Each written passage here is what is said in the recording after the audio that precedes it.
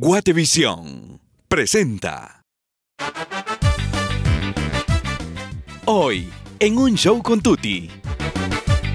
Han sido los automóviles, ha sido eh, la- el, el correr, triatlones, eh, Ironman también, Sí, hizo sí. a los 50 años. de 50 años, Ajá. pero en el grupo que yo salgo, el más joven es de 17 años. Ajá. que yo me cansé muy rápido de trabajar.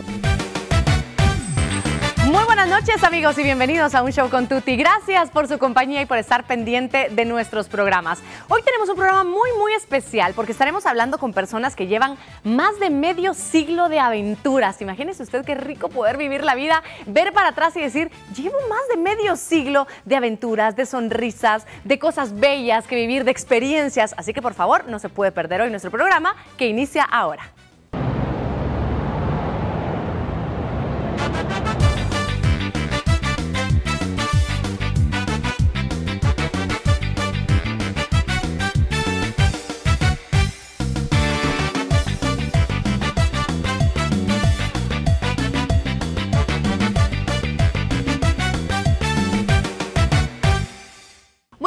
A disfrutar y ojalá inspirarnos con las historias de varios guatemaltecos que con su ejemplo, con su perseverancia, que con su espíritu, que con su actitud saben vivir la vida y vivirla al máximo y vivirla aprovechando cada momento que tenemos. Este programa le hemos titulado Más de medio siglo de aventuras, porque qué bonito poder decir que vamos acumulando aventuras, experiencias y cosas lindas que compartir con los demás, pero sobre todo que llevarnos en, en nuestra mochila de la vida. Me da mucho gusto presentarles a ustedes a quienes ahora me acompañan para arrancar este programa. Él es Mario Alday.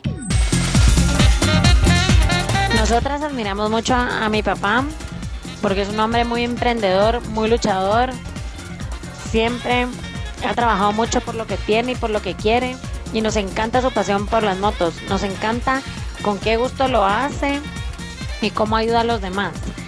Nos encanta que en Guate lo conocen un montón por eso mismo, porque es una persona que es un ejemplo en el mundo de las motos.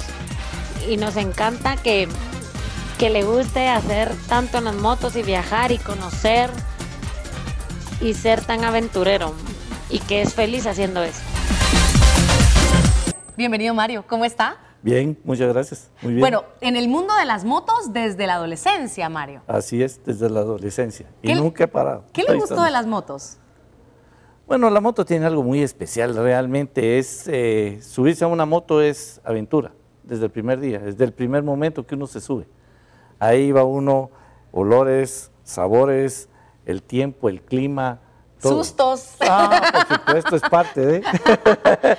¿Cuál ha sido el viaje más grande, más largo que ha hecho en moto? Viajé a Sudamérica, hice Sudamérica entera, Wow, Sí. ¿cuánto tiempo? casi seis semanas. Qué emoción. Sí, ah, sí, tremendo. Conocimos toda Sudamérica, el grupo que íbamos de amigos, todos eh, con edades similares a la mía, ¿verdad? Entonces, y tuvimos que pasar por unas experiencias increíbles, Qué realmente increíbles. que nunca nos 63 esperábamos. años, Mario. Sí, 63. Qué bien, bien vividos entonces. Ah, por supuesto. También me acompaña, amigos, Moni Farrat. Considerado un hombre aventurero y amante de la adrenalina y la velocidad, una persona positiva que se caracteriza por su buen humor, Moni Farrach es un ejemplo para muchas personas, ya que demuestra que no hay impedimento para realizar con amor, entrega y disciplina todo lo que uno desea, sin importar el tiempo ni la edad. Bienvenido, Moni, Hola ¿cómo Tuti, está? ¿cómo estás? Bien, bien, muy bien. Qué gusto tenerlo Sí, también por aquí. Igualmente, felicitaciones por el programa. Muchas gracias, Buenísimo. muchas gracias. Buenísimo que ustedes estén hoy aquí con nosotros para contarnos un poquito de todas esas aventuras. 63 años también, Moni. Así es. De, de Fuimos compañeritos de colegio, te Ah, cuento. sí, ¿de verdad? Sí, sí, También. Nos ganamos una beca por mal comportamiento y nos mandaron de internos a la antigua Guatemala al Colegio La Salle. ¿En serio? Otra de las aventuras a las que, a las que se suman.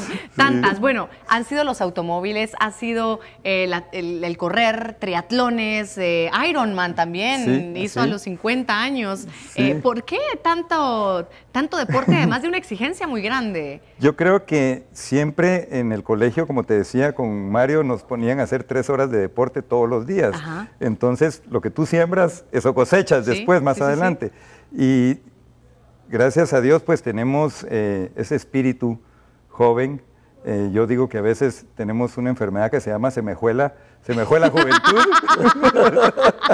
pero con nosotros no sucede eso, no envejecemos, solo maduramos. Sí, sí, solo maduramos. Acumulan juventud, digamos, y, gan- y ganas de seguir viviendo. ¿Cuál creen que ha sido, porque eh, en su caso ha sido el mundo del automovilismo también, que sigue presente en su vida y que sigue Claro. eh, compitiendo, etcétera? Eh, ¿Cuál ha sido este secreto para, para seguir, para organizar? Porque eh, creo que ambos han participado en diferentes grupos, organizado ah, competencias, viajes, etcétera.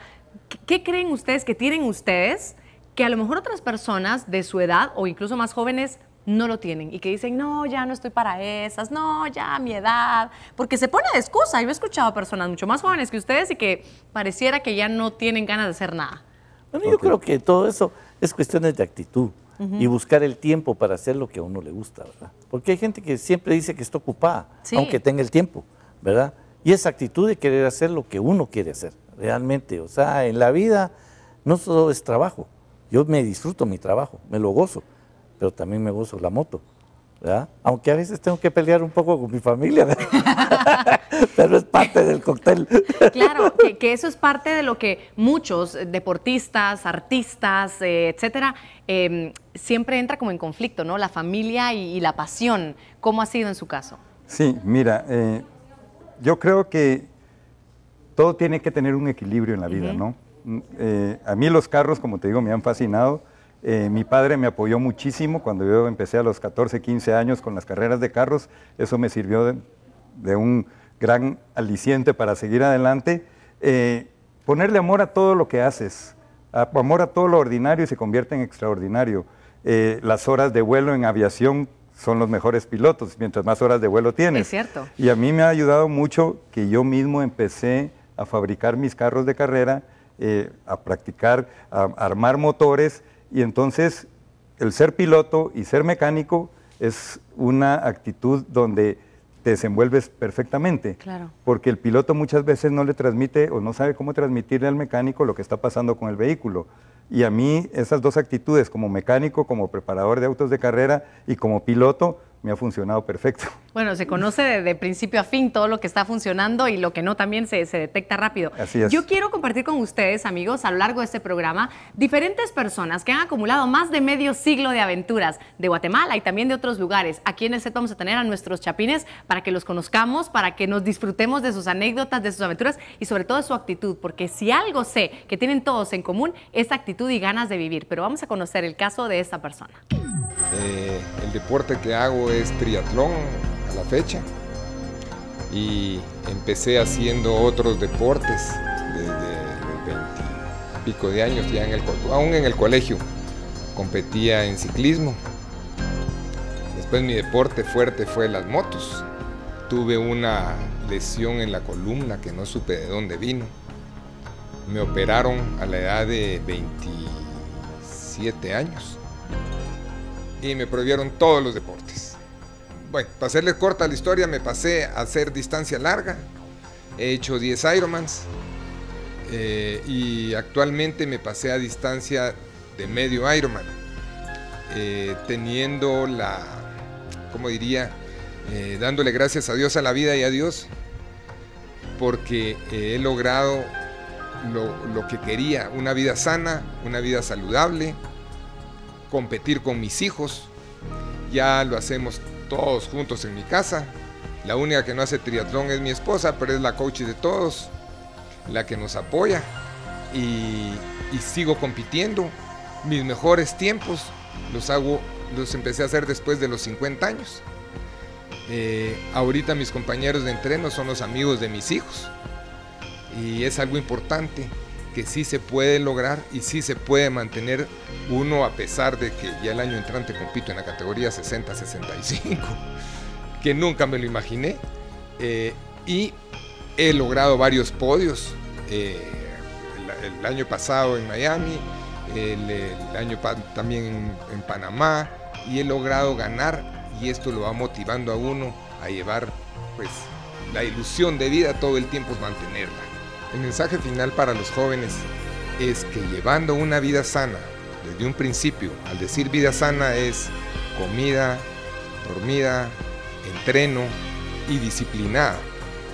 uno puede llegar, pues, no, diga, no digo yo que esté nítido porque uno no sabe nunca cómo está por dentro, pero se siente uno mucho mejor que cualquier persona y puede seguir compitiendo y haciendo este tipo de carreras. Ahorita en octubre tengo otra próxima con todos, con mis hijos y, y toda la familia y se mantiene la ilusión de vida.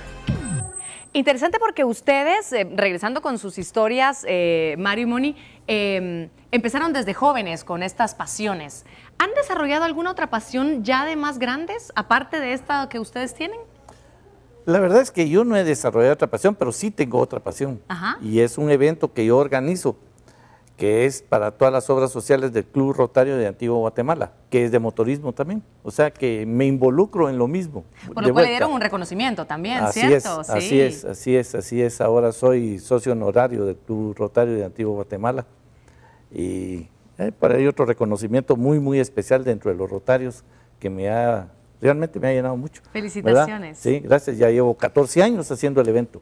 Entonces ya es, eh, realmente ya es parte de mí, digámoslo así. ¿Cómo se, de esa forma se trasciende, cierto? Lo que era pasión, lo que era individual a lo mejor o en equipo, eh, con esto se trasciende, se, se lleva, se trata de tocar a más personas.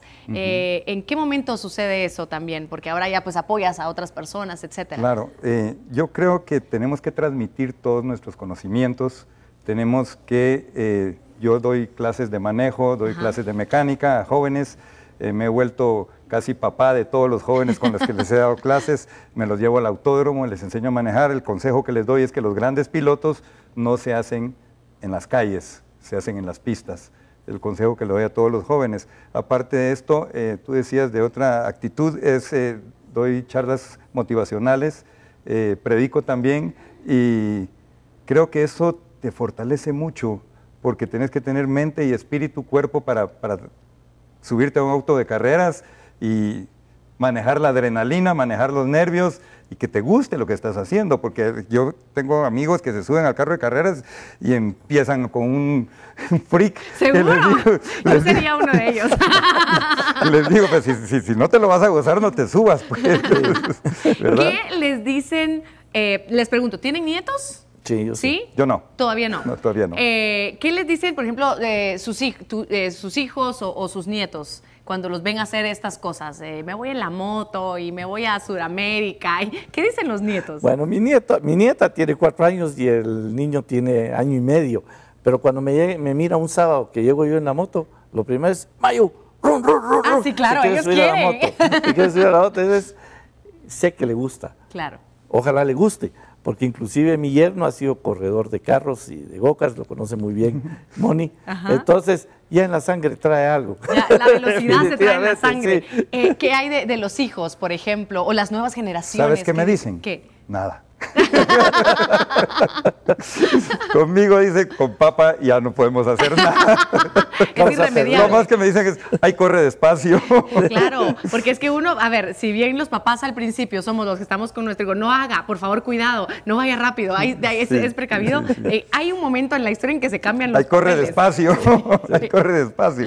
No, la verdad que sí. eh, hago lo que me gusta, como te digo, tengo el apoyo de mi familia, por supuesto, el aval de mi familia y nunca me han dicho no corra.